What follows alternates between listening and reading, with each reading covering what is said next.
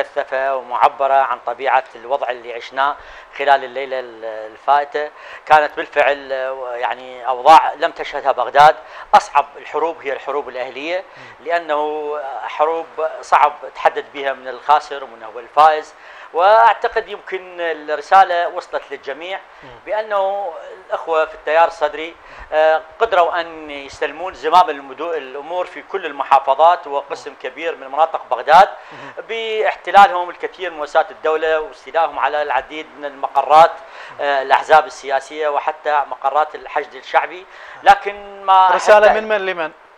الرسالة وصلت من التيار لمن؟ كل الرسالة وصلت من قبل الصدريين أه. إلى كل مؤسسات الدولة ولكل القوى السياسية بما فيهم الإطار التنسيقي اللي كان خسارة كلش كبيرة. آه، جراء الأعمال اللي صارت مساء أمس.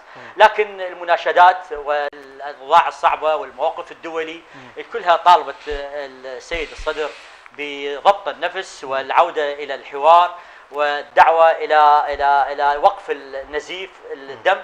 فأعتقد اليوم مبادرة السيد الصدر وقفت آه، حمام الدم. جيد دكتور علي ما بين مبادرة السيد مقتدى الصدر بضرورة إنهاء المشهد الذي حصل في المنطقة الخضراء وبيان الإطار التنسيقي؟ كيف تقارن بين الاثنين؟ أنا أعتقد كمواقف ومبادرة. السيد الصدر يجب أن توصل للجميع بما فيهم الأخوة في الإطار التنسيقي. الإطار التنسيقي هو الخصم الكبير لا إلى السيد الصدر.